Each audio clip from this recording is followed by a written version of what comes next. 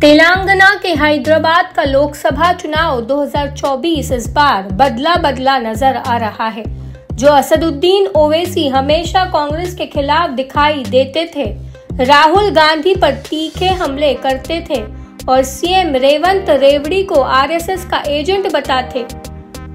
उन्हीं AIMIM chief के सुर अब बदले बदले सुनाई पड़ रहे हैं। इस बार दोनों के बीच केमिस्ट्री बदल गई है। दोनों साथ साथ इफ्तारी में जा रहे हैं। एक दूसरे का मुँह मीठा करा रहे हैं। एक दूसरे की तारीफ़ भी कर रहे हैं। राजनीति में रिश्ते मौके और ज़रूरत से तय होते हैं। न कोई परमानेंट दोस्त होता है, न परमानेंट दुश्मन। तेलंगाना में विधानसभा चुनाव हुए, अभी छह महीने भी नहीं बीते हैं। तब केसीआर की पार्टी बीआरएस के साथ रहे, ओवैसी कांग्रेस पर चुन चुन कर हमले कर रहे थे। अब ओवैसी का दिल बदल गया है। इसके पीछे है हैदराबाद का चुनावी गणित, जिसे बीजेपी ने पूरी तरह बदल दिया है। अब ओवैसी और कांग्रेस एक दूसरे के करीब दिखाई देने लगे हैं।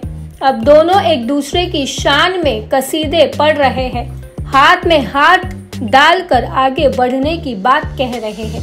तेलंगाना के मुख्यमंत्री रेवंत रेड्डी ने असदुद्दीन की शान में कसीदे पढ़ते हुए कहा यहाँ से आप लोगों की मदद से ओवैसी और उनके एमएलए जीत कर आ रहे हैं। मैं भी नहीं हरा पाया। चुनाव खत्म होने के बाद सोचा कि हैदराबाद को डेवलप करना है तो एआईएमआईएम को साथ लेकर चलने के लिए हम लोग कोशिश किए। वही ए एआईएमआईएम अध्यक्ष असदुद्दीन ओवैसी ने कांग्रेस को समर्थन देने की बात करते हुए कहा, तेलंगाना में गंगा, जमुनी, तहजीब और मज़बूत होगी।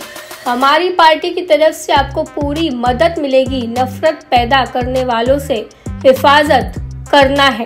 सियासत में एक दूसरे की कट्टर विरोधी रही कांग्रेस और एआईएमआईएम का दिल बदलने के पीछे है हैदराबाद की सीट, जहाँ से ओवैसी पांचवी बार अपनी जीत पक्की मान रहे थे, लेकिन बीजेपी ने अपनी फायर ब्रांड नेता माधवी लता को मैदान में उतारकर गेम फंसा दिया। इसी के बाद कांग्रेस और ओवैसी की रणनीति बदलने लगी।